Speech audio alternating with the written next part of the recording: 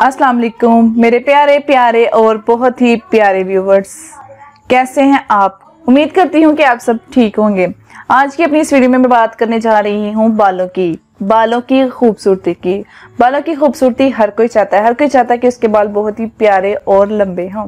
इसलिए मैं आज आपके साथ बालों के बारे में एक रेमेडी शेयर करने जा रही हूँ, जिसके लिए हमें चाहिए होंगे टमाटर का पल्प अब आप हैरान हो रहे होंगे कि बाल और टमाटर का पल्प जी हाँ आप हैरान मत हों। आज की हमारी जो रेमेडी है वो है बालों के बारे में और जिसमें हम यूज़ करेंगे टमाटर का पल्ब ये मैंने एक टोरी में लिया है टमाटर का पल्ब एक टमाटर का पल्ब काफ़ी होगा।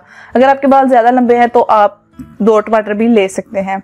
तो मैं इसमें डाल, मैंने लिया है एक टमाटर का पल्ब और इसमें डालनी है एक spoon aloe vera gel aloe vera gel हमारी स्किन के लिए तो बहुत फ़ायदेमंद होती है। इसके साथ साथ ये बालों के लिए भी उतनी ही फ़ायदेमंद होती है। अगर आपको एलोवेरा प्लांट मिलता है तो आप वो यूज़ कर ले। अगर नहीं तो आप बाज़ार से एलोवेरा मंगाकर वो भी यूज़ कर सकते हैं। तो इसमें मैंने एक स्पून एलोवेरा जेल डाल के मिक्स की है। अब इसमें दो, दूसरा इंग्रेडिएंट जो मैं ऐड कर रही हूँ, वो है कैस्ट्रल ऑयल वन स्पून इसमें मैं ऐड कर रही हूँ कैस्ट्रल ऑयल का। ये हमारे बालों को मज़बूत और हेल्थी बनाने में मदद करता है।